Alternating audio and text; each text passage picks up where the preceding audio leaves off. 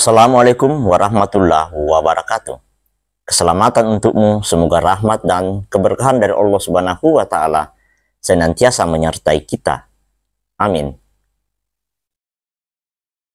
Mestinya KPU RI, Bawaslu RI beserta Gakumdunya dan DKPP harus hadir di Kota Palopo ini guna melakukan monitoring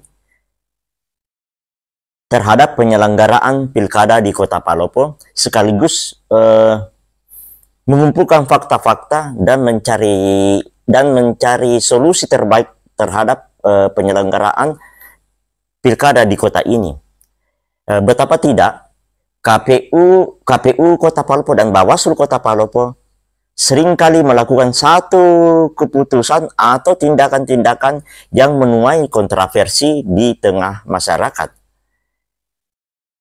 uh, terakhir adalah keputusan dari Kapolres Kota Palopo yang mencabut pena, uh, mencabut status tersangka dari tiga komisioner KPU Palopo dan salah seorang calon wali kota Palopo dalam perkara dugaan tindak pidana pemalsuan bukan pemalsuan ya tindak pidana penggunaan surat palsu Uh, tentu apa yang dilakukan oleh Bapak Kapolres Kota Palopo adalah uh, rangkaian dari sebuah peristiwa ya, peristiwa hukum ke, hukum pemilihan yang yang mengharuskan Kapolres Kota Palopo mengambil keputusan itu.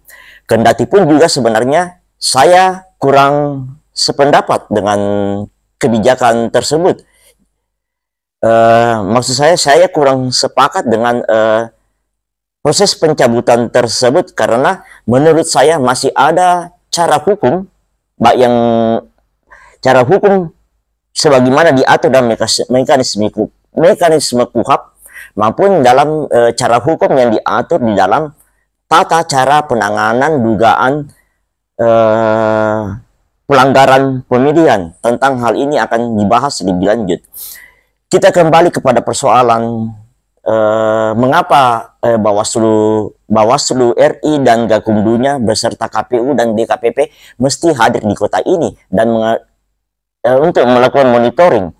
Bukan hanya sekedar menemukan monitoring tetapi mengumpulkan fakta-fakta tentang apa yang sebenarnya terjadi secara objektif dalam pengertian eh, fakta-fakta uh, yang dikumpulkan itu uh, akan menjadi uh, diperoleh secara sendiri tanpa informasi dari jajarannya atau dari pihak lain karena kekhawatiran terjadi bias e, mengenai hal itu sehingga persoalan yang di yang yang yang yang terjadi dalam pilkada ini dapat diputuskan secara baik. Mengapa kami mendesak dalam tanda kutip e, kehadiran e, mereka di kota ini? Tad, karena keputusan yang menghentikan perkara ini akan ditiru oleh orang lain untuk juga melakukan tindak pidana eh, tindak pidana pilkada dengan eh, rumusan yang sangat sederhana. Perkara akan dihentikan karena daluarsa. Caranya sangat sedar, sederhana. Juga tidak menghadiri panggilan, misalnya panggilan eh, Gakumdu dan atau penyidik sehingga perkara dugaan pelanggaran akan dihentikan. Saya coba untuk berilustrasi. Katakanlah nanti, misalnya, bagi-bagi duit, money politik.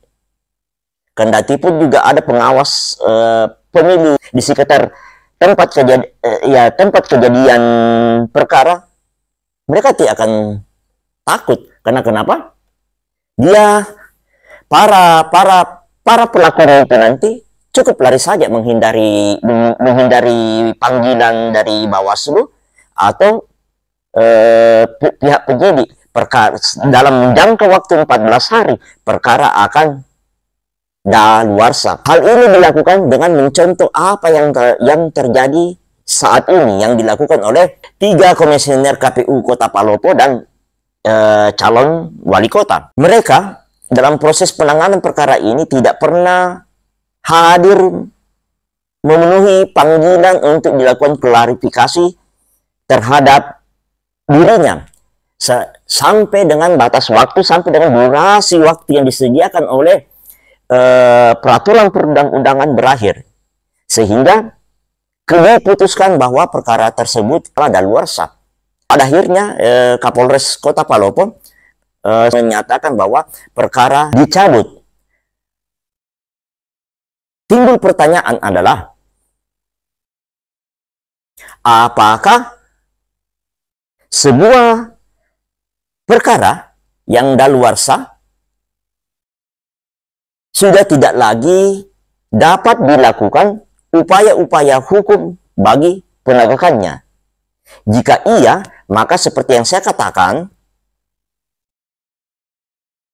akan menjadi contoh contoh bagi pelaku-pelaku lain. Mereka akan melakukan tindak pidana pemilu seberat apa pun sanksinya. Tidak menjadi soal yang berarti karena cukup dengan menghilang 14 hari dari kota ini perkara akan dihentikan. Dalam kasus kota Palopo di kota Palopo ini, sebagaimana saya dalam sebagaimana dalam video reaksi saya terhadap se sebuah berita yang beredar mengenai penghentian per, eh, perkara karena dianggap daluarsa, saya memandang begini. Karena dalam perkara dalam perkara ini di perkara di Kota Palopo, Bawaslu sudah meneruskan ke penyidik kepolisian dan telah ditetapkan tersangka. Para tersangka ini, empat orang ini telah tidak pernah hadir memenuhi panggilan penyidik. Secara, meskipun dipanggil secara patut, bahkan eh, dilakukan terhadap, eh, dilakukan, bahkan dilakukan pencarian kepada calon pelaku yang juga merupakan calon wali kota tetapi juga upaya tersebut menjadi sia-sia karena tidak ditemukan yang pada akhirnya eh, dihentikan oleh penyidik kepolisian Resort Kota Palopo. Nah, dalam kasus dalam kasus-kasus ini saya pada saat eh, dengan dalam video yang lalu mengeluarkan sebuah usul. Mengapa tidak dilakukan eh, proses yang kita kenal dengan in absentia? Karena terdakwa eh, tersangkanya sudah ada. Karena tersangka sudah ada berarti bukti awal itu sudah cukup.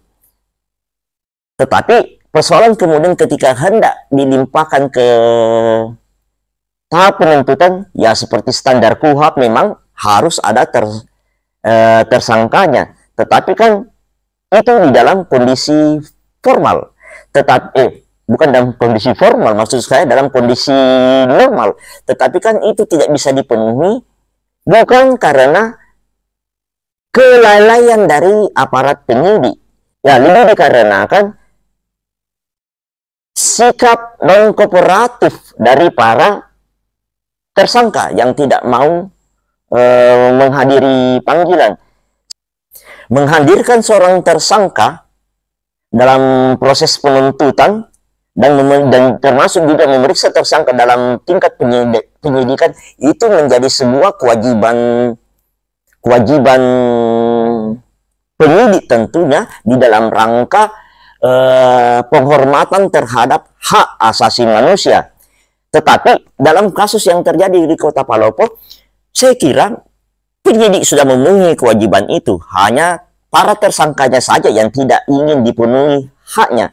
Oh, maka oleh karena itu saya berpendapat mestinya mestinya tetap saja persoalan ini diteruskan oleh penyidik ke penuntut penuntut dari Kejaksaan Negeri Palopo selanjutnya dilimpahkan ke eh, pengadilan negeri Palopo.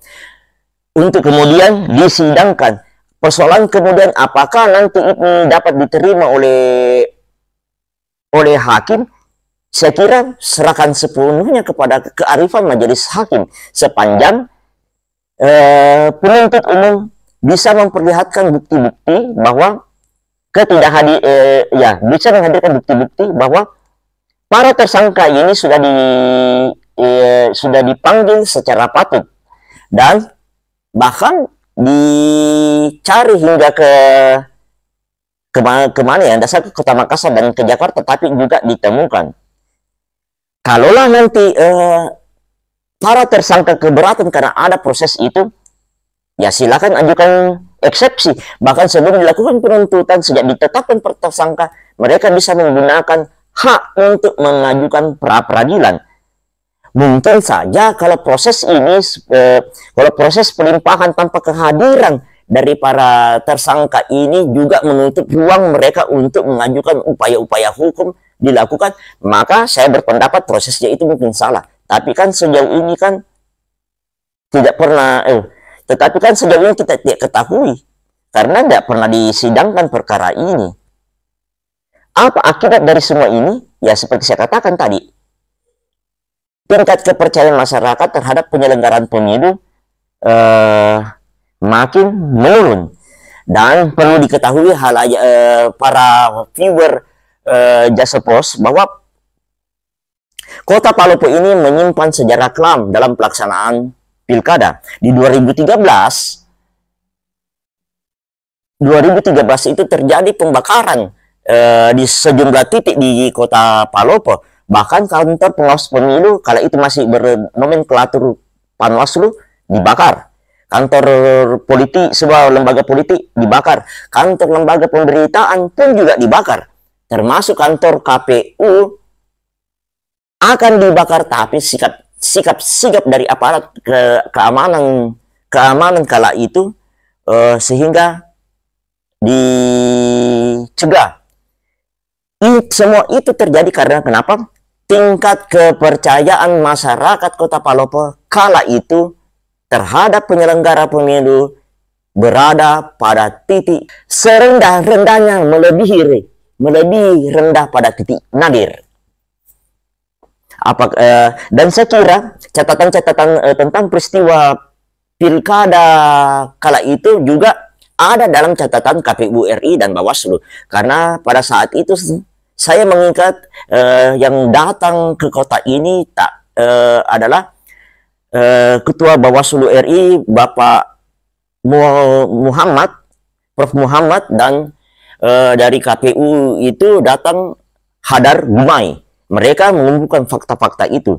Niscaya apa yang saya katakan eh, bahwa peristiwa yang terjadi di 2013 itu didorong dipicu adalah tingkat ketidakpercayaan masyarakat terhadap KPU penyelenggara dan eh, dan Panwaslu penyelenggara pemilu di kota Pak di kota Pak Palopo kala itu sangat rendah. Makanya atas dasar pengalaman kelam penyelenggaraan pilkada di kota ini, saya atau kami mengusulkan atau sedikit mendesak kepada para penyelenggara pemilu di tingkat pusat untuk datang ke sini. Mengenai kemungkinan penggunaan in absensia dalam perkara dugaan tindak pidana pemilihan berupa eh, pemalsuan dokumen. Nah, timbul pertanyaan, apakah itu dikenal di dalam KUHAP? Kalau kalau kalau memang di untuk tindak pidana seperti tidak salah tindak pidana korupsi itu dikenal secara langsung undang-undang tindak pidana korupsi mengatur soal itu dan tidak diatur di dalam undang-undang pemilu, pilkada dan peraturan Bawaslu dan termasuk pula PKPU tidak diatur. Tetapi apakah ini tidak bisa dilaksanakan? Dan apakah ini tidak uh, tidak tidak tidak dikenal di dalam KUHAP? Kalau menurut saya dikenal dalam KUHAP. Tentu di antara para viewer viewer uh, jasa pos pernah mengalami sidang pernah melihat peristiwa uh, pernah melihat uh, sidang lalu lintas para tersangkanya para pelanggar pelanggar eh, para pelanggar eh, aturan lalu lintas kan tidak hadir di persidangan tapi tetap diputus dan semangatnya tetap sama sama-sama eh, dan semangatnya sama antara sidang pelanggaran pelanggaran lalu lintas dan sidang dan acara cepat acara singkat itu memiliki kesamaan kesamaan dengan kesamaan sifat dengan tindak pidana penanganan tindak pidana pemilu dan pilkada, ya ini sama-sama sidang dengan acara yang cepat. Di situ kaidahnya. Penerapan sidang in absentia dalam penanganan dugaan pelanggaran tindak pidana pilkada dan pemilu menjadi sangat relevan jika dikaitkan dengan durasi waktu penanganan sebuah tindak pidana pemilu dan pemilu kada yang sangat singkat. Sementara eh, pilkada itu sendiri memiliki dampak yang luas dan bahkan bisa e, memicu konflik jika tidak ditangani secara baik. Sehingga tadi yang seperti saya katakan perlu menerobos tentang kekakuan di dalam penanganan e, dugaan tindak pidana pilkada. Salah satunya tadi adalah soal e, saya. Salah satunya tadi adalah soal gagasan penerapan sidang in absentia. Apalagi di untuk perkara di Kota Palopo ini tersangkanya sudah ada sudah ditetapkan empat orang dan tentunya bukti awal itu sudah cukup. Hanya tidak di, berlanjut pada pada soal eh, pada pada penuntutan pada penuntutan eh, di, dikarenakan keempat tersangkanya ini tidak hadir. Dan eh, gagasan penerapannya penerapan in absensia menjadi semua kebutuhan nyata bila? Bila? Saya ulang lagi. Bila? Hukum pilkada sebagaimana yang diatur dalam peraturan Bawaslu memang sudah tidak sudah menutup celah menutup kesempatan sebuah lah penanganan tindak pidana pemilu dan pemilu pemilu kada untuk ditangani bila daluarsa timbul pertanyaan apakah seperti itu. Saya pernah ngobrol dengan mantan penyelenggara seorang pengawas pemilu. Apa yang disampaikan ke saya? Bahwa sebuah tindak pidana pemilu atau pilkada kalau pun tidak memenuhi syarat formal di antaranya syarat waktu itu katakan eh, daluarsa, maka bukan berarti tidak bisa lagi ditangani. Seorang pengawas pemilu katanya dengan dengan dengan eh, dengan doktrin pengawasan aktif wajib untuk menangani kembali perkara tersebut dengan menggunakan mekanisme eh, temuan yang sebelum ditetapkan sebagai temuan terlebih dahulu dinyata, eh, di, ditetapkan sebagai informasi awal untuk kemudian dilakukan penelusuran penelusuran sebagai wujud dari pengawasan aktif. Jadi di akhir video ini eh, kami menghimbau kepada Bawaslu RI kepada dan tentunya dengan gakumdunya KPU RI dan DKPP untuk datang hadir di kota Palopo ini guna e, memonitoring sekaligus mencari fakta yang terjadi di Pilkada 2024 ini.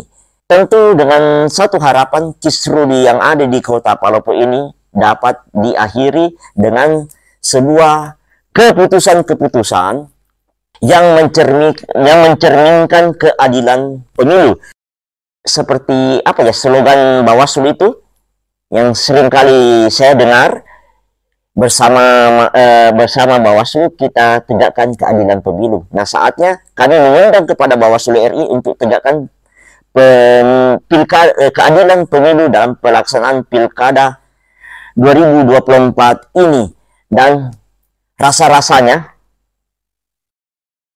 sebu eh, ya dan rasa-rasanya sebuah negara hukum seperti Indonesia tidak pernah akan memberi ruang, tidak pernah akan me, e, memberi toleransi untuk perilaku-perilaku non non non kooperatif terhadap hukum. Negara ini tidak boleh kalah dengan perilaku seperti itu. Wabillahi taufiq wal hidayah. Wassalamualaikum warahmatullahi wabarakatuh. Salamat ki kepada salamat.